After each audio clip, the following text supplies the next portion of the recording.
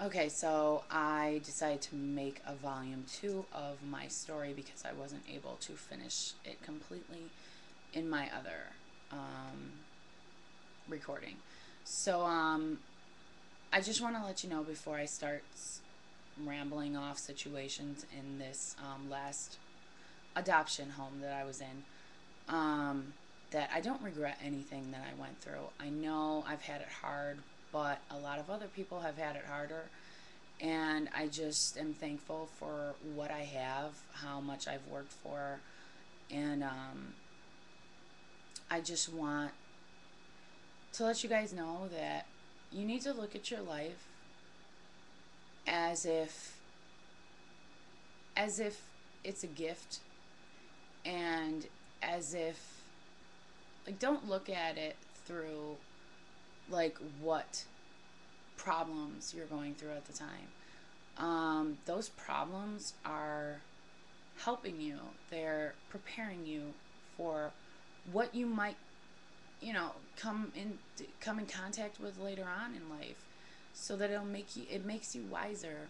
The tri- the trials and tribulations that people go through.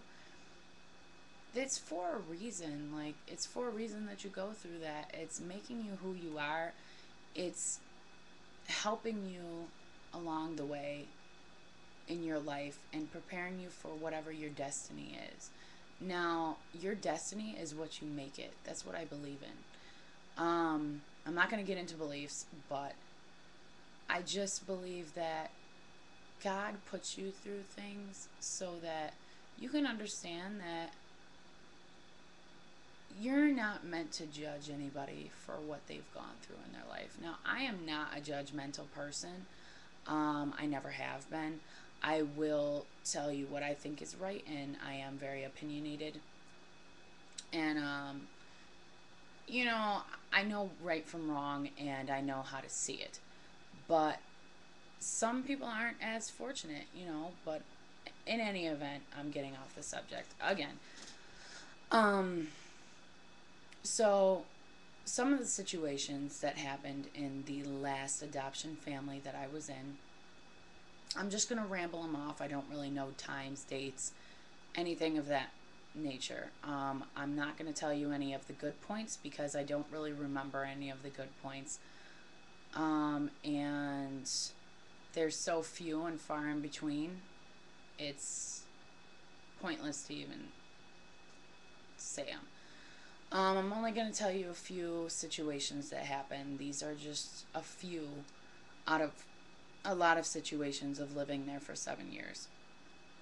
Now, I do remember that um, the sister in the family, she used to go and tell a lot of people what happened in our household, which you know, I, can't blame her. You know, our the mother and the father were very abusive.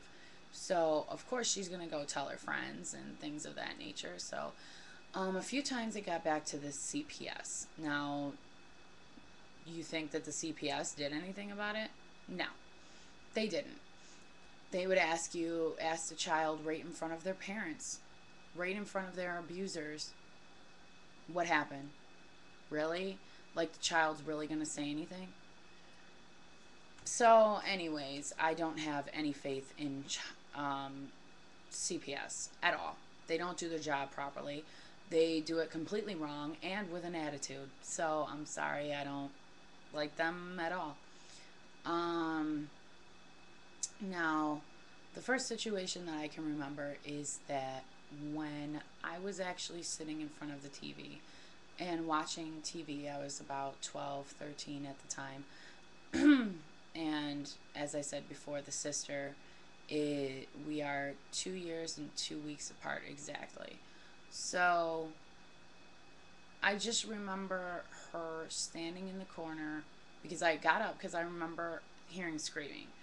And I remember her standing in the corner over by where um, our kitchen well in the kitchen but um it's like it had like this little nook um where the counter was it kind of like cut into a corner so she was in the corner Um, and I see her crying her eyes out, and then I see the father holding a shotgun up to her, threatening to shoot her because she opened her mouth to somebody and told them what happened to us. Um, I think that very day be, like two days before. Um, so I guess it went to CPS, and CPS was actually looking into it. Now, the father was screaming at her, you know, threatening her and things of that nature. So I went into the kitchen and actually went in between the gun and her and facing the father and kept on shouting to put it down, put it down, put it down. Put the gun down. You don't need to waste you don't don't waste your life out on her. She's not worth it. Um, you're going to go to jail for the rest of your life. You have to think of the repercussions of what's going to happen. Obviously, I didn't use big words at that time. Um, but I pushed her into the corner with my back and held her held her to my body so that I knew where she was at all times. I um just kind of wrapped my arms behind my back around her and um, made sure that she didn't move anywhere so that I could protect her. So um, he just kept on screaming at me to move, to move, and I said, "You'd have." I remember saying that you have to shoot through me to get to her.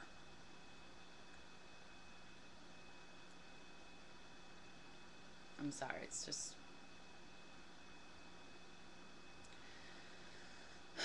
so then his face got very red.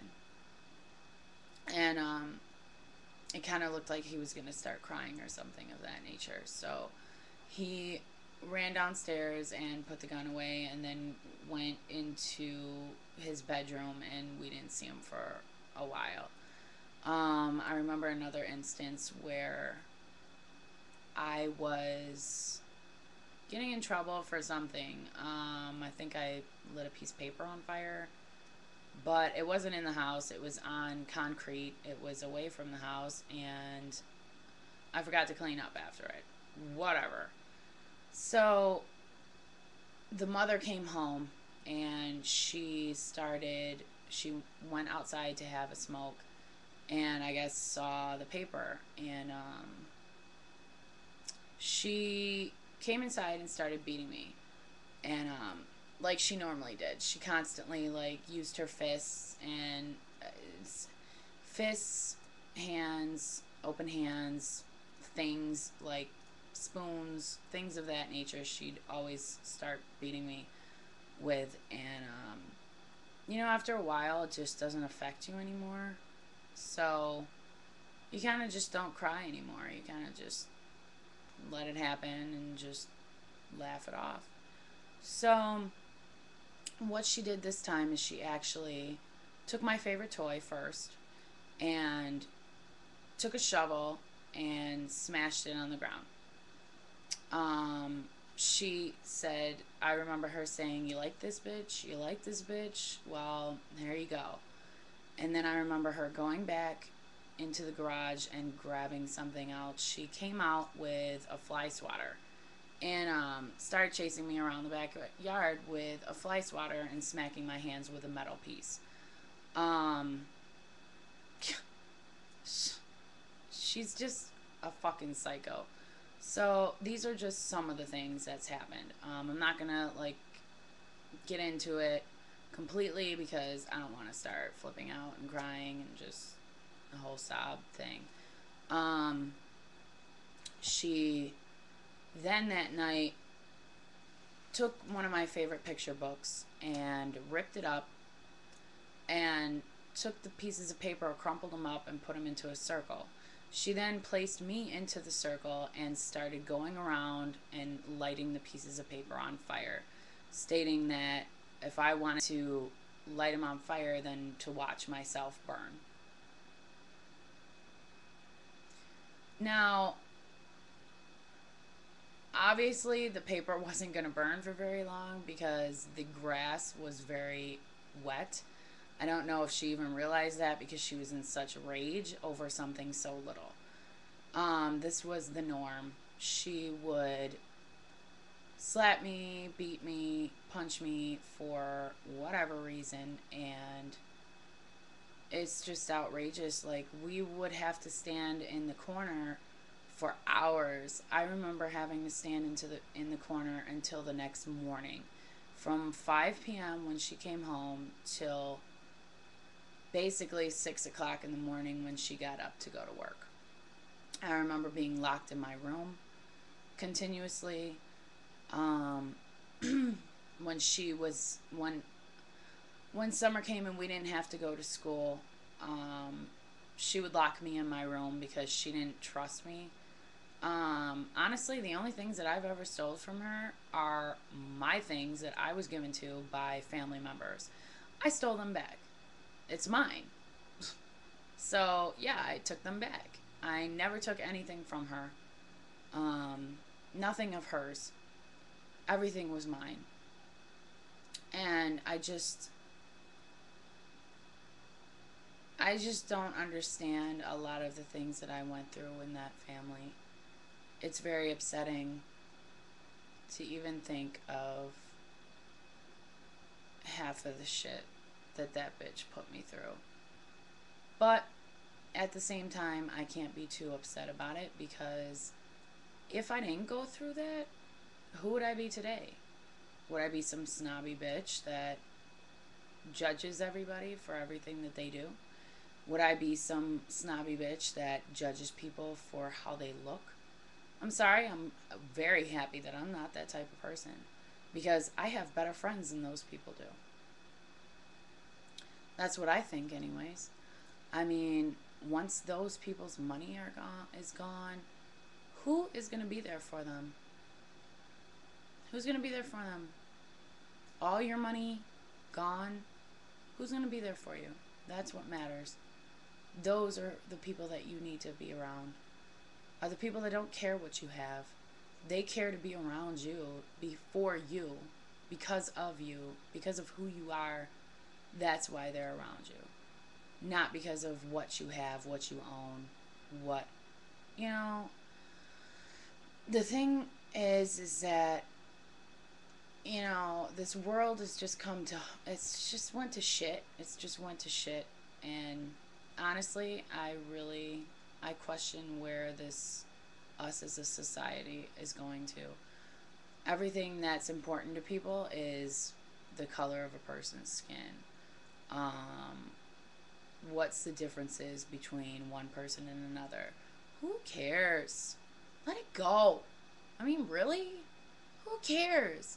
Who cares if this person wants to be with somebody else of a different race? Who cares if I have a black boyfriend? Who cares? Why do you care what I do in my personal life? Why? Honestly, I can understand why somebody would want to know about my story of how I became to where I am now because I was adopted. Maybe something that I say will hit home. Maybe something that I have done they haven't. And maybe it will help them why don't we just help each other? I mean, we're all human. Really? We're all human. Who cares where that person came from? Who cares what happened in their past? You know what I'm saying? I mean, what's happened to a person and their skin color does not make them what they are. It makes them, it doesn't make you different. Yeah, there's a difference because of the skin color and because of genetics and things like that. But so what? Not everybody's going to be the same. If everybody was the same, we'd have a boring ass fucking world. So, those are just my thoughts, and that's a little bit about myself. I will post more information about my past if anyone would like to know. Um, you can request it in you know, on my blog, which is I, I as in in, S as in Sam, O as in operator, openarms.blogspot.com.